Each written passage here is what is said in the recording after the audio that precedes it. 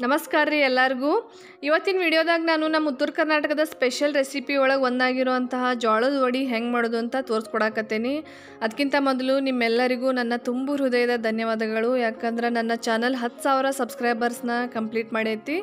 ಇದಕ್ಕೆಲ್ಲ ನಿಮ್ಮ ಪ್ರೀತಿ, ಪ್ರೋತ್ಸಾಹನೇ ಕಾರಣ. ಇನ್ನು ಮುಂದೆನೂ ಕೂಡ ನಿಮ್ಮ ಪ್ರೀತಿ, ಪ್ರೋತ್ಸಾಹ ಹೀಗೆ ಇರಲಿ ಅಂತ ನಾನು ಕೇಳ್ಕೊಳ್ತಾ. ಬರ್ರಿ ಜೋಳದ ವಡಿ ಹೆಂಗೆ ಮಾಡೋದು ಅಂತ ನೋಡೋಣ. ನಾನು ಒಂದು ಸಣ್ಣ ಮಿಕ್ಸಿ ಜಾರ್ಗೆ ಒಂದು ಚಮಚದಷ್ಟು ಧನಿಯಾ ಕಾಳನ್ನು ಹಾಕ್ಕೊಳ್ತಾ ಇದ್ದೀನಿ. ಹಾಗೆ ಒಂದು ಚಮಚ ಜೀರಿಗೆ. ಹದಿನೈದು ಹೆಸರು ಬೆಳ್ಳುಳ್ಳಿ ಹಾಕ್ಕೊಳ್ತಾ ಇದ್ದೀನಿ. ಸ್ವಲ್ಪ ಕರಿಬೇವು. ಹಾಗೆ ಒಂದು ಕಪ್ಪಷ್ಟು ಕೊತ್ತಂಬರಿ ಸೊಪ್ಪನ್ನು ತಗೊಂಡಿದ್ದೀನಿ. ಹಾಗೆ ಒಂದು ಮೀಡಿಯಮ್ ಸೈಜಷ್ಟು ಈರುಳ್ಳಿನ ನಾನು ಕಟ್ ಮಾಡಿ ಹಾಕ್ಕೊಳ್ತಾ ಇದ್ದೀನಿ. ಒಂದು ಎಂಟರಿಂದ ಹತ್ತಷ್ಟು ಹಸಿಮೆಣ್ಸಿನ್ಕಾಯಿ ಹಾಕ್ಕೊಳ್ತಾ ಇದ್ದೀನಿ. ಇದನ್ನೆಲ್ಲ ನಾವೀಗ ಚೆನ್ನಾಗಿ ಪೇಸ್ಟ್ ಮಾಡ್ಕೋಬೇಕು. ಆದಷ್ಟು ನೀರು ಕಮ್ಮಿ ಹಾಕ್ಕೊಂಡು ಪೇಸ್ಟ್ ಮಾಡ್ಕೋಬೇಕು. ನೋಡಿ, ಈ ಥರ ಆಗಿದೆ ಪೇಸ್ಟು ನಾನೀಗ ಹಿಟ್ಟು ಕಲಿಸ್ಕೊಳ್ಳೋಕ್ಕೆ ಒಂದು ಅಗಲವಾದ ಪಾತ್ರೆ ತೊಗೊಂಡಿದ್ದೀನಿ. ಇದಕ್ಕೆ ಒಂದು ಗ್ಲಾಸಷ್ಟು ಜೋಳದ ಹಿಟ್ಟು, ಒಂದು ಗ್ಲಾಸು ಗೋಧಿ ಹಿಟ್ಟು. ಹಾಗೆ ಒಂದು ಚಮಚ ಅಜ್ವಾಯಿನ್ ಅಥವಾ ಓಂ ಕಾಳನ್ನು ನಾನು ಕೈಯಿಂದ ತಿಕ್ಕಿ ಹಾಕ್ಕೊಳ್ತಾ ಇದ್ದೀನಿ. ಹಾಗೆ ಅರ್ಧ ಚಮಚದಷ್ಟು ಅರಿಶಿನ ಹಾಕ್ಕೊಳ್ತಾ ಇದ್ದೀನಿ. ಹಾಗೆ ರುಚಿಗೆ ತಕ್ಕಷ್ಟು ಉಪ್ಪು. ನಾನು ಪೇಸ್ಟ್ ಮಾಡಿ ಇಟ್ಕೊಂಡಿರೋದನ್ನೆಲ್ಲ ಈಗ ಹಾಕ್ಕೊಳ್ತಾ ಇದ್ದೀನಿ ಹಿಟ್ಟಲ್ಲಿ.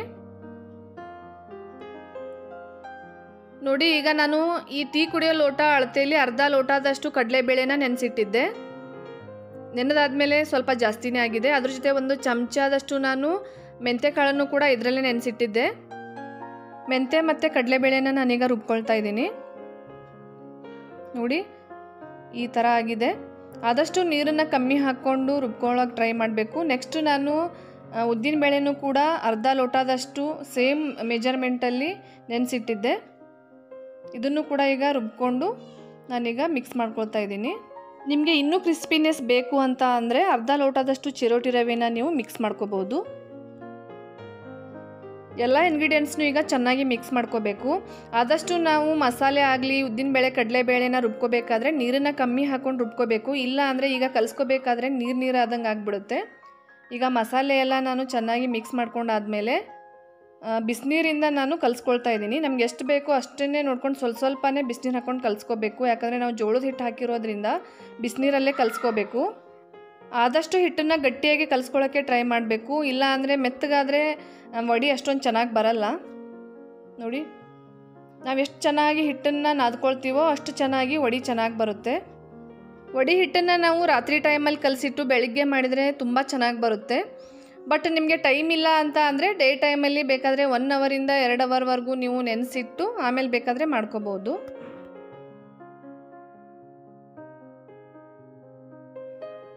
ನಾನೀಗ ಹಿಟ್ಟನ್ನು ಒನ್ ಅವರ್ವರೆಗೂ ನೆನೆಯಕ್ಕೆ ಇಡ್ತಾ ಇದ್ದೀನಿ.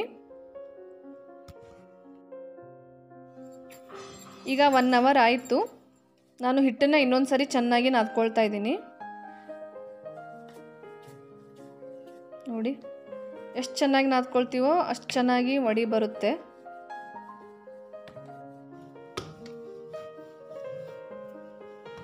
ನಾನೀಗ ಫಸ್ಟ್ ಮೆಥಡ್ ತೋರಿಸ್ತಾ ಇದ್ದೀನಿ. ದೊಡ್ಡದಾಗಿರೋ ಸೈಜಲ್ಲಿ ಹಿಟ್ಟನ್ನು ತಗೋಬೇಕು. ನಾನು ಆಯಿಲ್ ಪ್ಯಾಕೆಟ್ನ ಯೂಸ್ ಮಾಡ್ತಾ ಇದ್ದೀನಿ. ನೀವು ಬೇಕಾದರೆ ಹೋಳಿಗೆ ಪೇಪರ್ ಯೂಸ್ ಮಾಡ್ಬೋದು, ಇಲ್ಲಾಂದರೆ ಡೈರೆಕ್ಟಾಗಿ ನೀವು ಚಪಾತಿ ಮನೆ ಮೇಲೆ ಕೂಡ ಮಾಡ್ಬೋದು. ನೋಡಿ, ಇದ್ರ ಮೇಲೆ ನಾನು ಸ್ವಲ್ಪ ಎಳ್ಳನ್ನು ಹಚ್ತಾ ಇದ್ದೀನಿ.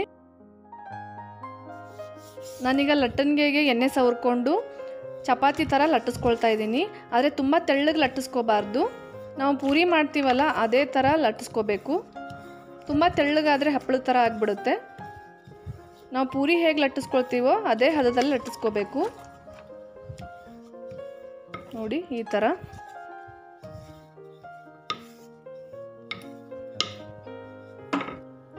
ನಿಮಗೆ ಯಾವ ಸೈಜ್ ಬೇಕು ಆ ಸೈಜಲ್ಲಿ ನೀವು ಕಪ್ಪನ್ನು ತಗೊಂಡು ಈ ಥರ ಶೇಪ್ನ ಮಾಡ್ಕೋಬೋದು.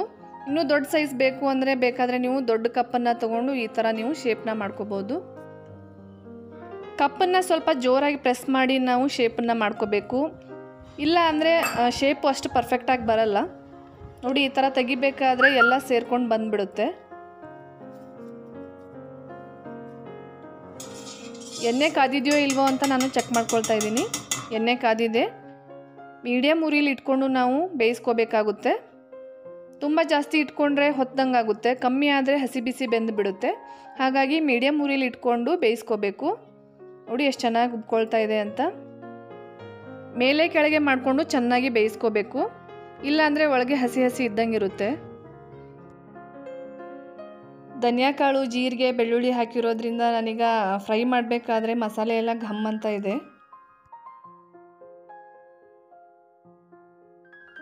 ನಾನೀಗ ಸೆಕೆಂಡ್ ಮೆಥಡ್ ತೋರಿಸ್ತಾ ಇದ್ದೀನಿ. ನಾವು ಪೂರಿ ಮಾಡಬೇಕಾದ್ರೆ ತೊಗೋತೀವಲ್ಲ, ಅಷ್ಟೇ ಹಿಟ್ಟನ್ನು ತೊಗೋಬೇಕು. ಸ್ವಲ್ಪ ಎಳ್ಳನ್ನು ಅದ್ರ ಮೇಲೆ ಹಾಕಿ ಚೆನ್ನಾಗಿ ತಟ್ಕೋಬೇಕು ಕೈಯಲ್ಲಿ. ಕೈಯಲ್ಲಿ ಬಡದು ಮಾಡೋದ್ರಿಂದ ಇದನ್ನು ಬಡದು ವಡಿ ಅಂತ ಕರಿತೀವಿ. ನೋಡಿ ಈ ಥರ ಬರುತ್ತೆ. ತುಂಬ ತೆಳ್ಳಗನು ಆಗಬಾರ್ದು, ತುಂಬ ದಪ್ಪನೂ ಆಗಬಾರ್ದು. ಮೀಡಿಯಮಾಗಿ ತಟ್ಕೋಬೇಕು. ನೋಡಿ ಇದನ್ನು ಈ ಥರ ಪೂರಿ ಥರನೇ ಬೇಯಿಸ್ಕೋಬೇಕು. ನೋಡಿ ಎಷ್ಟು ಚೆನ್ನಾಗಿ ಉಬ್ತಾ ಇದೆ ಅಂತ.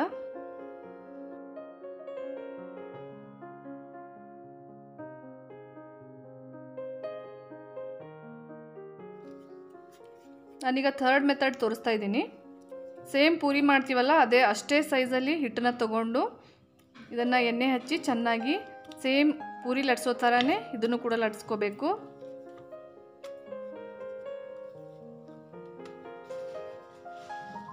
ಮಧ್ಯದಲ್ಲಿ ಸ್ವಲ್ಪ ಎಳ್ಳನ್ನು ಉದುರಿಸ್ಕೋಬೇಕು.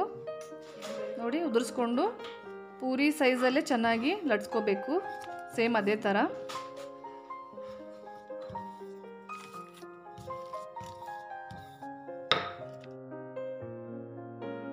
ನೋಡಿ ರೆಡಿ ಆಯಿತು. ಚೆನ್ನಾಗಿ ಮೇಲೆ ಕೆಳಗೆ ಮಾಡಿಕೊಂಡು ಬೇಯಿಸ್ಕೋಬೇಕು. ನೋಡಿ, ಎಷ್ಟು ಚೆನ್ನಾಗಿ ಉಬ್ಕೊಳ್ತಾ ಇದೆ ಅಂತ.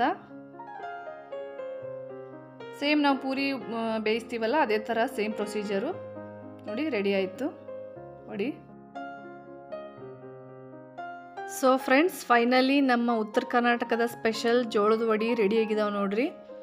ಎಷ್ಟು ಚಲೋ ಆಗಿದಾವ ಅಂತ ನಿಮ್ಗೆ ಅನ್ಸತ್ತಿರ್ಬೋದು ಎಷ್ಟು ಚಂದ ಉಬ್ಕೊಂಡವು. ನೋಡ್ರಿ, ಇದನ್ನು ನೀವು ಚಟ್ನಿ ಜೋಡಿನೂ ತಿನ್ಬೋದು ಇಲ್ಲ ಅಂದ್ರೆ ಮೊಸರು ಜೋಡಿನೂ ತಿನ್ಬೋದು. ಇದ್ರೊಳಗೆ ಖಾರ, ಉಪ್ಪು ಎಲ್ಲ ಮಸಾಲೆ ಇರೋದ್ರಿಂದ ಚಟ್ನಿ ಏನು ಅವಶ್ಯಕತೆ ಇರೋದಿಲ್ಲ. ಮೊಸರು ಇದ್ರೆ ಸಾಕು, ಮೊಸರು ಚಟ್ನಿ ಪುಡಿ ಇದ್ರೂ ಸಾಕು, ಬರೀ ಮೊಸರು ಇದ್ರೂ ಸಾಕು ಭಾಳ ಸೂಪರಾಗಿರ್ತೈತಿ ಬಿಸಿ ಬಿಸಿ ವಡಿ ಜೋಡಿ ಮೊಸರು ಇದ್ರೆ ಸೂಪರ್ ಕಾಂಬಿನೇಷನ್ನು ನಾನಂತೂ ಮೊಸರು ಜೊತೆನ ತಿನ್ನೋದು, ನೀವು ಬೇಕಾದರೆ ಚಟ್ನಿ ಮಾಡ್ಕೊಂಡು ಕೂಡ ತಿನ್ಬೋದು. ನೋಡಿ, ಈ ಥರ ಬಂದವು. ಇವತ್ತಿನ ರೆಸಿಪಿ ನಿಮಗೆಲ್ಲ ಇಷ್ಟ ಆಗೈತಿ ಅಂತ ತಿಳ್ಕೊತೇನೆ. ಇಷ್ಟ ಆದ್ರೆ ಲೈಕ್ ಮಾಡೋದು ಮರಿಬೇಡ್ರಿ ಹಂಗೆ ಏನು ಅನಿಸ್ತು ಅಂತ ಹೇಳಿ ಮರಿದ ಕಮೆಂಟ್ಸ್ ಬಾಕ್ಸಾಗ ತಿಳಿಸ್ರಿ. ಹೊಸಬ್ರಾಗಿದ್ರೆ ಸಬ್ಸ್ಕ್ರೈಬ್ ಮಾಡ್ಕೋರಿ. ಮತ್ತು ಸಿಗೋಣ ಮತ್ತೊಂದು ಹೊಸ ರೆಸಿಪಿ ಜೋಡಿ. ಅಲ್ಲಿವರೆಗೂ ಎಲ್ಲರಿಗೂ ನಮಸ್ಕಾರ. Thank you